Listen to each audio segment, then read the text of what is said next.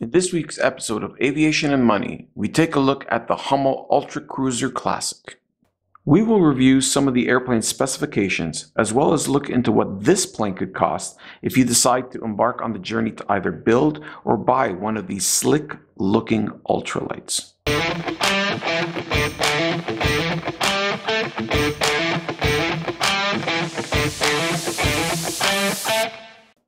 The aircraft was designed by Morry Hummel in 1999 and first flew in the year 2000. This is the strongest ultralight around, it seems. As per their website, it has a rating of 4G. The Ultra Cruiser Classic was designed to use a half Volkswagen engine. You can opt for either a 37 or 45 horsepower modeled engine.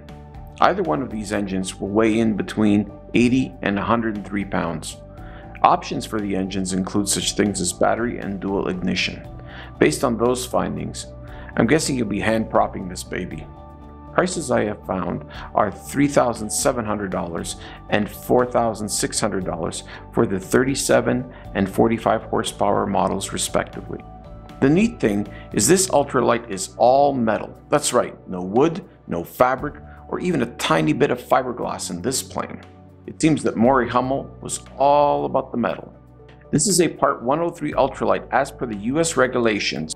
It is important to note that should you consider to add the canopy as shown here, or if you choose the tri-gear option, you will fall out of the ultralight category in the USA, but it would still be considered an ultralight in Canada. First, Wings can be detached so the plane could probably be stored in an enclosed trailer at the airport or even trailer back to your garage. If you're wondering how much that would save, see my other videos on airplane costs in the link above. And also, if you haven't already done so, don't forget to subscribe and hit the notifications so that you'll know when the next video is released.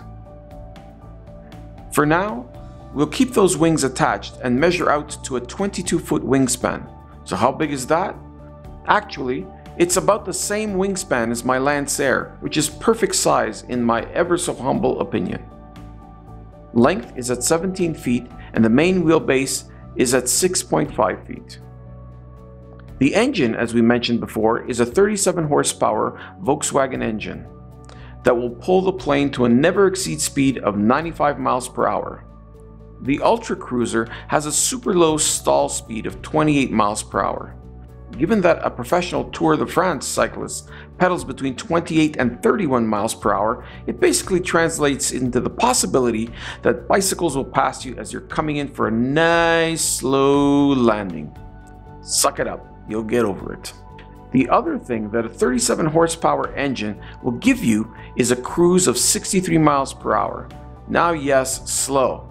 However, pretty fast when you compare it to lots of other ultralights out there. But there isn't much to complain about when you realize that this engine will consume only 1.5 to 2 gallons per hour. Given that it comes with a 5 gallon tank, that's a few hours of fun flying for about $35 of gas.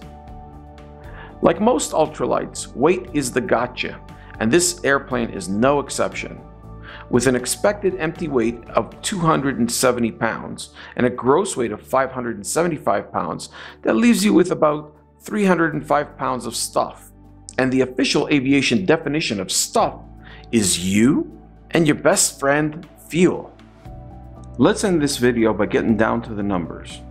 This is an experimental, which means you build this one. Lucky for you, Hummel has come up with several options for you to choose from. Option 1, plans built. This is your cheapest option. It will also be the longest option to complete the plane and get your butt into the air as you will have to manufacture nearly every component of the Ultra Cruiser. The positive side is that you can possibly source the metal locally, which could save you some more money on shipping costs. Option 2, partial kits. This is where every section of the aircraft is split into sub-kits, allowing you to pay as you go with separate purchases. This can save you time in the long run compared to the plans only option. Option 3. Full kit. This is the quickest, easiest, and most preferred way to build the Ultra Cruiser. This kit includes everything you need except the basic shop tools to assemble the aircraft. No additional manufacturing is needed for any part. So should you decide to go with option 1, the plans will set you back $335. As of 2020, this also includes the 3D assembly manual. Should you decide on the full kit, this will set you back a mere $17,900. Wow, you can barely buy a car for that price these days. You can also check out their website for costing on individual kits should you desire to go the option 2 route. Well, that's it for this episode of Aviation and Money, folks.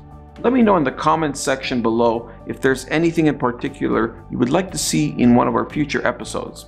We'll see you next time, and thanks for stopping by.